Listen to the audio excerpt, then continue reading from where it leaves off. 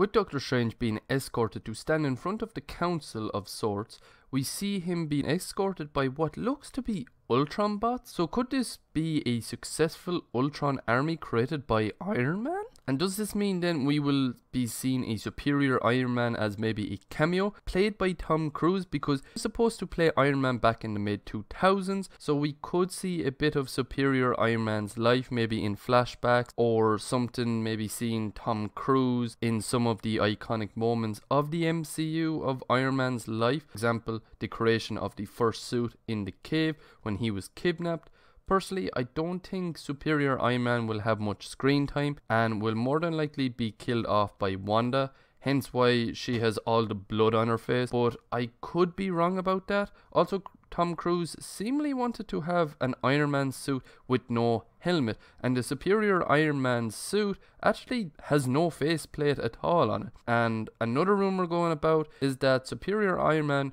will actually wield three of the Infinity Stones. So it's going to be interesting to see if this is the case.